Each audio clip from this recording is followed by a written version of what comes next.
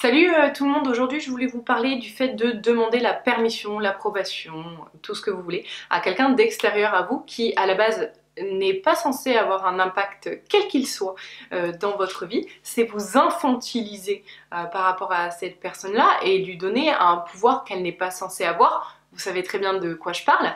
Euh, je me permets de parler par rapport à moi, par rapport à tous les messages que je reçois euh, au quotidien, de me dire euh, Johanna, est-ce que tu penses que ça c'est bon pour moi? Est-ce que tu crois que je devrais agir comme ça? Comment toi tu fais pour ça?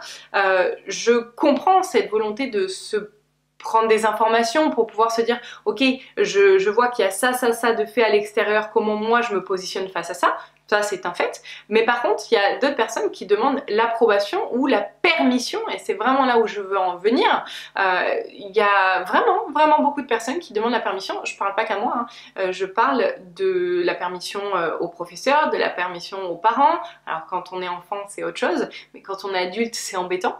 de la permission au boss, de la permission au gouvernement, de la permission au médecin, de la permission, je veux dire en fait, on ne peut pas vouloir être traité comme un adulte quand on se comporte comme un enfant. Euh, les seules personnes qui demandent des permissions, ce sont les enfants.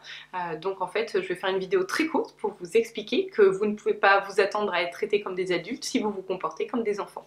Voilà, j'avais fait, ça fait deux fois que je refais cette vidéo. Je l'ai faite beaucoup plus longue auparavant. Puis en fait, je me suis dit qu'il n'y avait pas lieu de dire tout ce que j'avais dit. Euh, parce qu'en fait euh, c'est très très simple. Si vous voulez être traité comme un adulte, il faut que vous vous comportiez comme un adulte, c'est-à-dire comme quelqu'un qui est capable de penser par soi-même, pour soi-même, et qui n'attend pas ni l'approbation, ni la permission de quelqu'un d'extérieur à lui et d'extérieur à sa vie, quelqu'un qui ne connaît rien à sa vie, euh, qui n'a donc rien à dire, pas d'avis à donner sur le sujet. Donc comportez-vous comme ce que vous attendez de voir dans le monde, vous attendez à être traité comme des adultes, alors euh, comportez-vous comme tel, euh, sinon forcément ça ne pourra pas euh, marcher. Je ne suis pas en train de vous dire ce que vous devez faire si vous voulez continuer à vous comporter comme des enfants, que grand bien vous fasse, mais ne vous étonnez pas que l'on soit traité comme des enfants par le gouvernement qui nous infantilise, qui nous interdit de sortir, parce que ben du coup forcément on ne peut pas vouloir être traité comme un adulte si, si on n'a pas le comportement qui va avec. Voilà, à très bientôt.